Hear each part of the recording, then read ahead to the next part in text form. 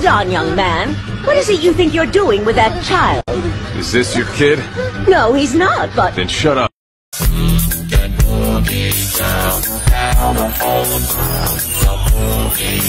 Ladies and gentlemen, boys and girls, Fazbear Entertainment would like you to put your hands together for the one, the only, Freddy Fazbear.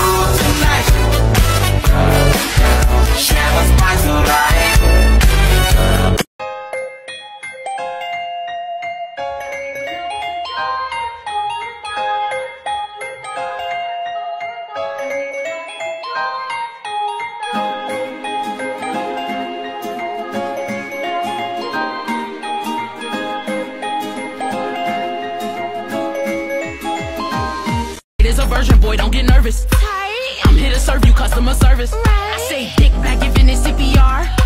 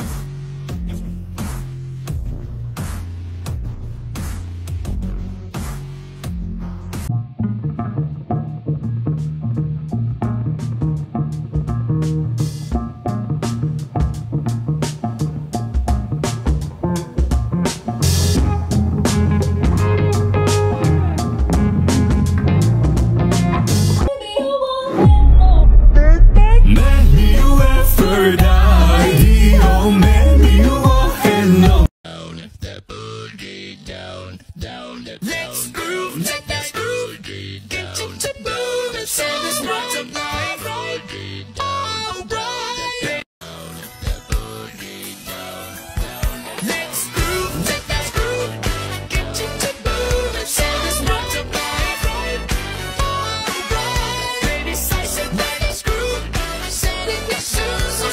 Y'all did not make this choice easy. This is the look I'm trying to go for, but this was the one that you guys picked for six, but it was too chunky for me. So this was four and three with the fabric paint with the two different types of brushes. And this was six and five with the puffy paint applied from the bottle and with a brush. I think I like the last one now, but I don't know. Hello. It's over. I told my wife. Who is this?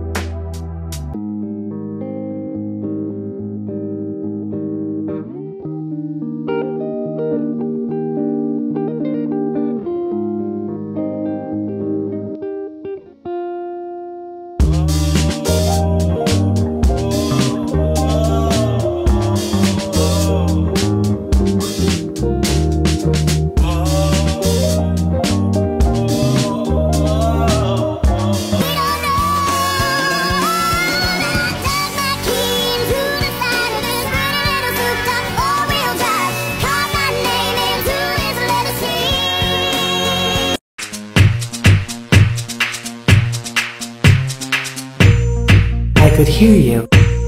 Gregory, you won't die.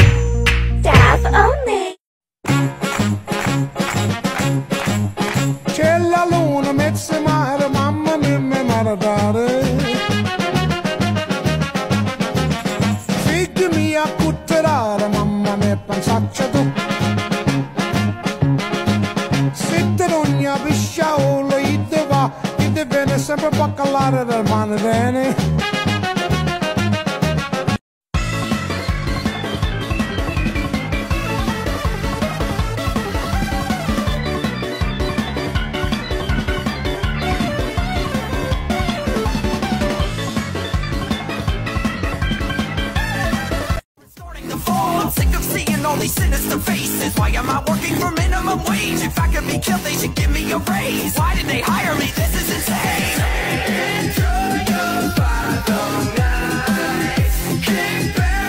Hey everyone, I'm just here with an update on my newest cosplay build. So we're almost there with the torso now, I've just got a few detail work to do and kind of hide all that glue up. But I'll start work on the legs and head very soon. Here are my new gloves too. Um, compared to Bonnie's old ones, these are a million times better. I'm loving the look of these.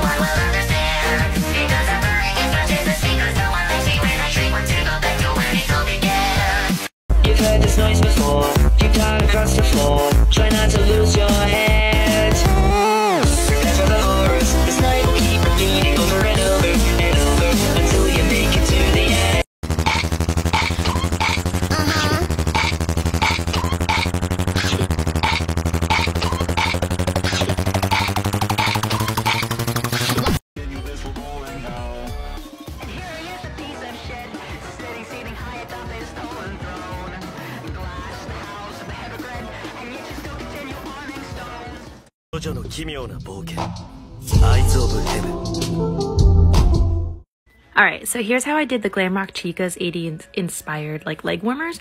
I do not know how to sew or what I'm doing. This is my third time making this, by the way. I folded the fabric in half and then traced out a pattern that worked for me. The top is like the measure around the calf area where it's gonna sit. Then I painted these with the fabric paint that I had in the last video. Then I use heat and bond like adhesive stuff. Uh, the rough side goes down first. Then using an iron, but put a towel under here. I think you do this for five seconds and then peel back the tape. Then fold the fabric over and then I think you steam it for like 20 seconds. I don't know. I keep reading the package and I keep forgetting. But anyway, just follow the directions. I just did it until it like stuck. So I did this for the bottom and the top, and then I folded wrong sides together, did a, I think a snake stitch, very simple, left four inches from the top to put Velcro on it so I could put my foot in and out of the sleeve. Then sewed Velcro on the top so it would close, and here it is. I probably could do a lot better, but this is all I know how to do, and I liked how it turned out, so here we are.